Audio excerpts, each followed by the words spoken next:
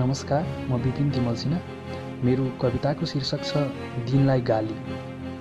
ए भ्रमहरूको थुप्रो झुटहरूको रास तँलाई शब्द भण्डारका अश्लील गालीहरू। उज्यालोको भ्रमपूर्ण पोसाकमा आँखाहरू तिर्मिराइदिने झुटहरूको गहना लगाई लोभ लालचमा फसाइरहने तेरो नौटङ्कीपनालाई शब्द भण्डारका अश्लील गालीहरू। अवास्तविकलाई वास्तविक पार्ने वास्तविकलाई अवास्तविक पार्ने तेरो झुक्क्याउने जादुहरूलाई तेरा फटाइपूर्ण चाहनाहरूलाई शब्द भण्डारका अश्लील गालीहरू। त दिन होस् प्यारो रात्रिको दुश्मन स्वप्न स्वर्गको बाधक झुटहरूको पुञ्ज दुर्गुण र भ्रमहरूको पहाड।